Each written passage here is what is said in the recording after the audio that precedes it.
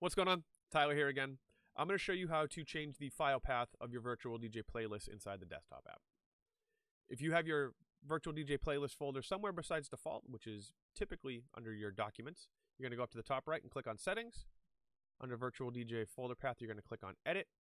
Then you're going to go to wherever you keep your playlist folder. This could be inside your documents, under music, on your external music hard drive, wherever you keep it. Then just simply click on the playlist folder and click select. Now you're ready to go and download directly to Virtual DJ. Any questions? Send us an email at help at cratehackers.com.